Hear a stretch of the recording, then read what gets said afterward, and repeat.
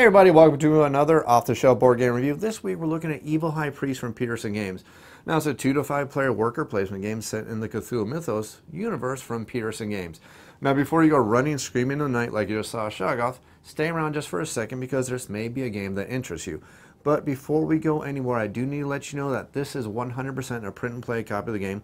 I'm not paid by Petersen Games. I don't work for Petersen Games. Matter of fact, I had to download all this and print this all out myself just to check out the game. So there are a few things missing from this print and play version of the game. I'll cover those in a minute, but let's just go over exactly what exactly Evil High Priest is. Now, Evil High Priest is a worker placement game where the players are, well, you guessed it, we're all Evil High Priests. We're actually all cultists. We're all trying to bring about one of the great old ones and bring them back into the world. And the way we're going to do this is by gathering resources. Now, we've all seen this in worker placement games before where we're going to basically take our units, we're going to go ahead and move to locations. We're going to grab a couple resources. We're going to keep doing that ad nauseum until we get our victory points. We're going to figure out who the grand winner of the game is. But Evil High Priest does it a little bit differently. And this is actually what's kind of interesting about the game. You see in your usual worker placement games, basically you put your units out there, you grab your resources, everybody keeps taking advantage of all these locations. We grab our resources. Once we get all our resources, we're going to cash in those resources for victory points. This is where this game diverts because your resources are your victory points. So this means every single decision you make in the game is a little bit more agonizing because not only are your resources, and I mean all your resources, potential victory points, you spend them, you're spending your victory points. You gain them, you're gaining your victory points. So watch what you're doing there right there. But not only are they all your victory points, you need to protect these victory points because you need to build up your asylum and your sanctum and all these different locations where you're going to be hiding all these resources.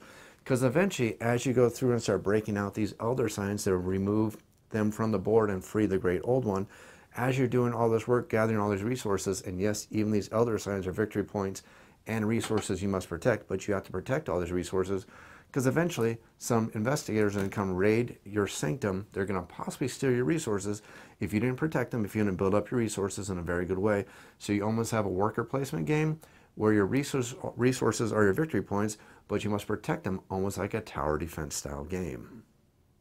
Now, adding on to the variety of the game is a couple really cool, interesting, and neat concepts. First of all, you have the rituals board that isn't even going to open up a couple extra locations until the first investigator raid happens. And not only that, as you're breaking out all these elder signs, and again, there's only 13 of them, each one was worth 10 victory points. So you see your victory points limited right there. But as soon as that last elder sign is broken, the game ends immediately and everybody's going to count out their victory points. Nobody gets any extra free turns at that point.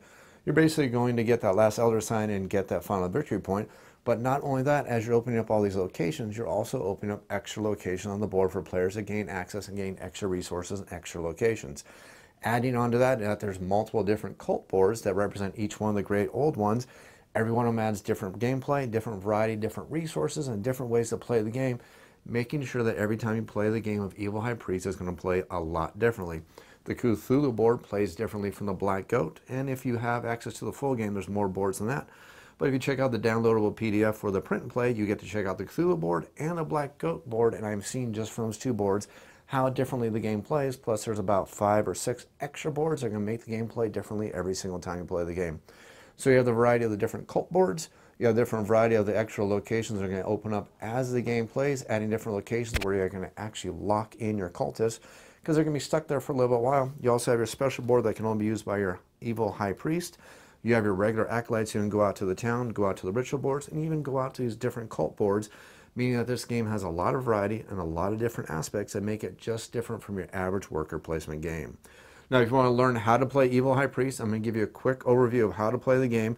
Now, unfortunately, like I've mentioned already, since this is a print and play, there are a couple different things that I'm actually missing here that are going to be available in the full game. First of all, I don't have the special investigators, which are going to change the way the game plays every single time it plays the game, because it's going to make the raids play out differently.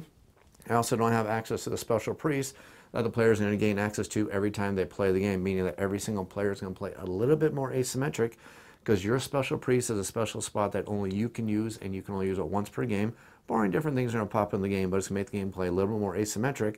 Plus, there's a couple other things that I'm missing, like the special different monsters, extra different chambers to protect your room. But basically, I'm going to give you a quick way to how to play the game, show you some sample gameplay in a separate video, and finally, I'm going to go and give you my final thoughts on Evil High Priest.